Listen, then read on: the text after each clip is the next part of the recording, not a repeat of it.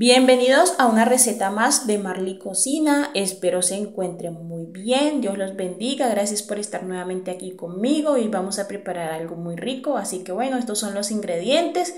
Tenemos salchicha ranchera picadita, tenemos eh, tres cuartos de arroz, un poquito más de la media libra. Tenemos cebolla cabezona picadita bien finita, eh, dientes de ajo también picaditos y acá tenemos salsa barbecue, esta es la que vamos a utilizar para agregarle al arroz y también tenemos un plátano maduro, lo vamos a reservar allí, ya les diré qué estaremos haciendo con ese plátano maduro. Por acá en un sartén que pues ya tenemos en la estufa agregaremos aceite, una vez el aceite esté caliente vamos a, a pasar a agregar la cebolla cabezona y el ajo. Vamos a freír allí por unos 5 minutitos para luego pasar a agregar la salchicha. Vamos ahora la salchicha, la vamos a freír también allí mismo hasta que estén bien doraditas las salchichas, así como ya se ven acá, miren. Ya estando la, digo, las salchichas así bien doraditas, vamos a pasar a agregar el arroz. El arroz pues debe estar lavado, si usted no le gusta lavarlo, pues lo agrega sin lavar. Yo sí lo hago, me gusta lavarlo ya acá vamos a pasar ahí mezclando todo. Agregaremos sal al gusto.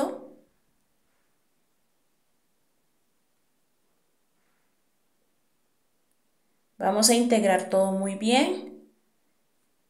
Y a este punto vamos a agregar la salsa barbecue. Aproximadamente estamos utilizando 3-4 eh, cucharadas de acuerdo a la intensidad con que ustedes quieran el arroz. Asimismo pueden utilizar, eh, utilizar la, la salsa, la salsa barbecue.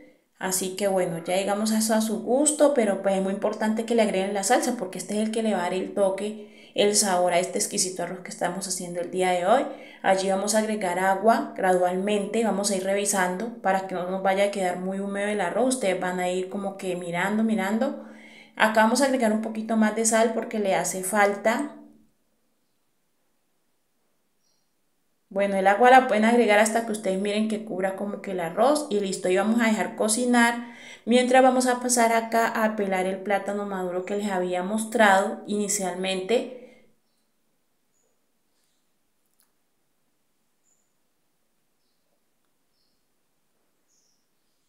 Bueno, pelado el plátano lo vamos a partir en dos porque vamos a proceder a hacer así estas aberturas, digámoslo así, vamos a hacer unas rajitas al plátano porque lo vamos a picar en cuadritos, no muy grandes, así como pueden ver allí, así lo vamos a picar.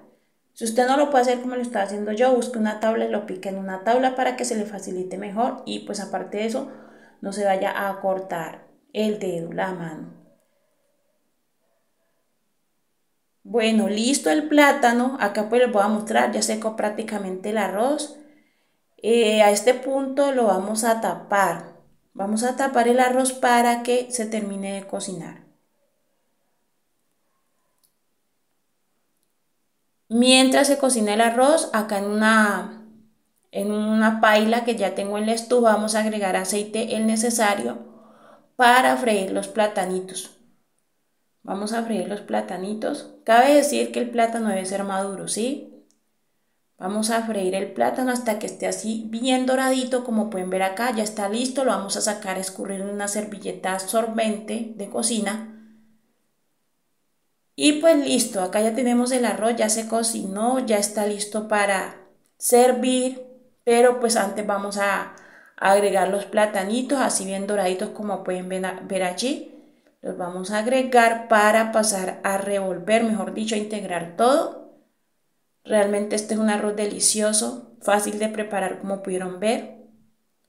Un arroz diferente, diría yo, con salsa barbecue, bien sabroso, me quedó. Ustedes se imaginarán ya cómo ha de saber este arroz, mejor dicho, para que lo preparen.